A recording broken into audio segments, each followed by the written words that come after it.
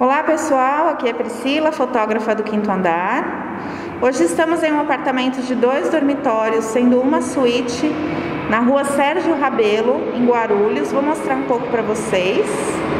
Esta é a sala, apartamento com pintura nova na cor branca, piso em porcelanato,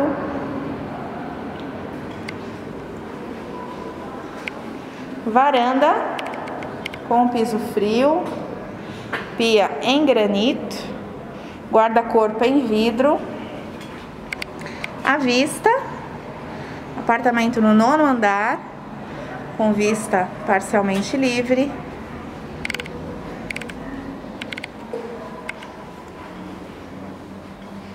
Primeiro quarto, também paredes brancas, piso em porcelanato, Vista livre.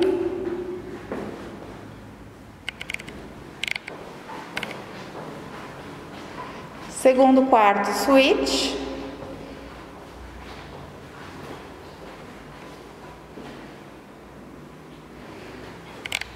A vista, mesma vista na varanda.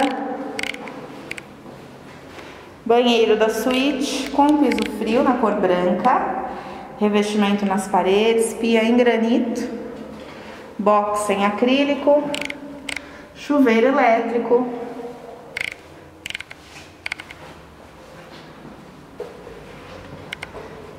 banheiro social, também com box em acrílico, pia em granito, chuveiro elétrico.